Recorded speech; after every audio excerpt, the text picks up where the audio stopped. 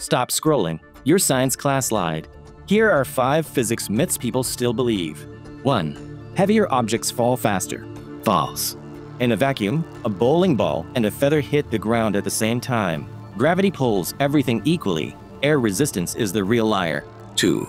No gravity in space. Wrong. Gravity is everywhere. Astronauts float because they're in constant free fall around Earth, not because gravity disappears. 3. Motion needs force. Nope. Newton's first law says objects keep moving unless friction or air resistance slows them down. You're fighting friction, not physics. 4. Summer because Earth is closer to Sun. Completely false. Seasons exist because Earth is tilted. More tilt toward the Sun means longer days and hotter summers.